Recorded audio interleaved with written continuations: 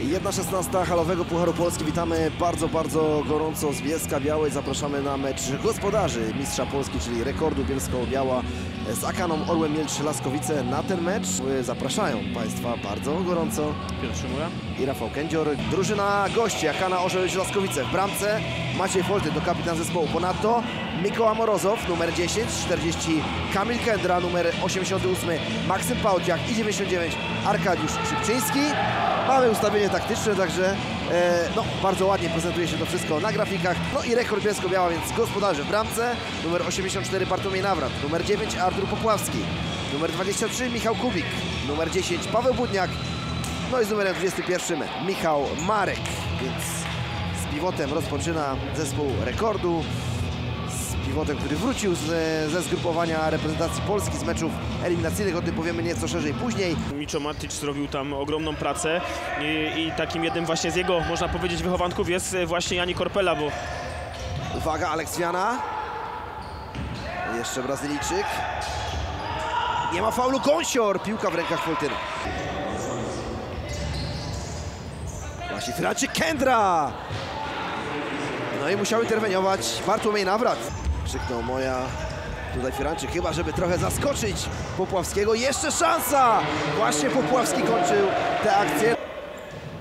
Trenera Czuza Lopeza. Morozow jeszcze raz musi bronić Nawrat. No i tak naprawdę rekord y, ma, ma dzisiaj e, spore problemy.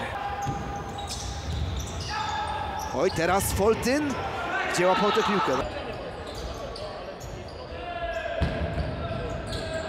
Teraz uwaga, jest okazja, Nawrat, jeszcze nie koniec, piłka w rękach bramkarza reprezentacji Polski. Teraz kapitalne podanie Aleksawiany, Gąsior, jeszcze nie koniec.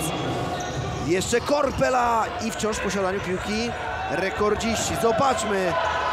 Kendra, teraz szansa. Faulowany Bondar. Sędziowie zdecydowali, że nie. Popławski, Popławski gol! Artur Popławski i mamy w 11 minucie prowadzenie mistrzów Polski.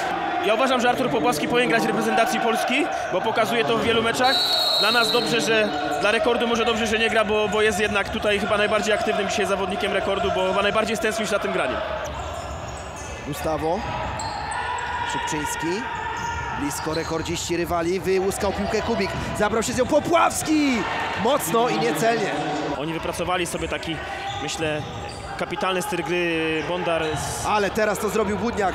Budniak! Budniak! Gdyby to zakończył e, golem, to mielibyśmy naprawdę ozdobę tego spotkania. grać tu na tej Absolutnie. hali y, gra systemem 4-0. Ale świetnie teraz to zrobili Morozow. I nawrat.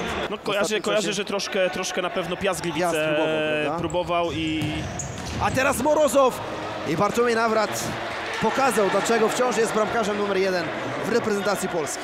Gustawo. Bliżej teraz e, rekordziści rywali. Tutaj podwojony teraz zawodnik e, Akany Orła. Błyli się Popławski. Zobaczmy. Szybczyński kontra Nawrat. Górą bramkarz rekordu Bielsko-Biała. Bondar. Bondar! Bardzo, bardzo optymistycznie. Bardzo. A Sania, Sania widzi wszystko, więc widział też że z dwie sekundy do końca i, i stwierdził, że nic innego nie No właśnie, wykombinuje. Właśnie, rekord Bielsko-Biała prowadzi za kaną Orłem 1 do 0.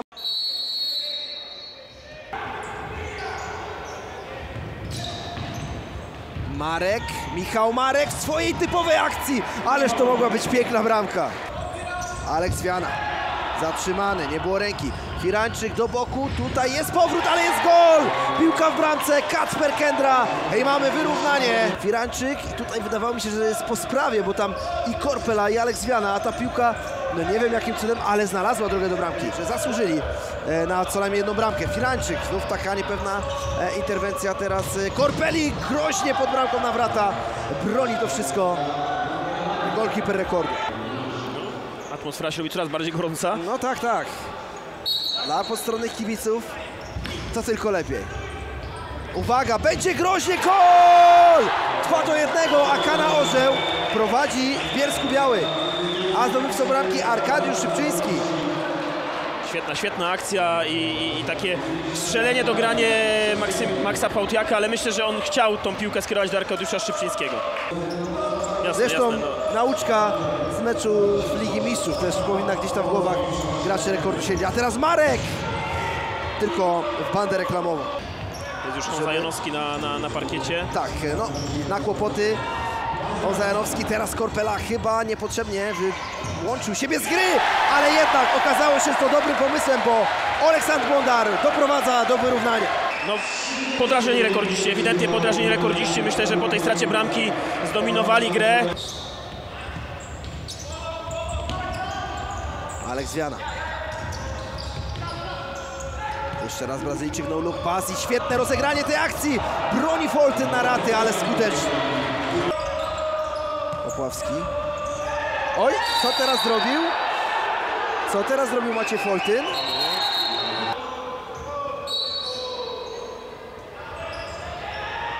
Bondar i gol! 3 do 2.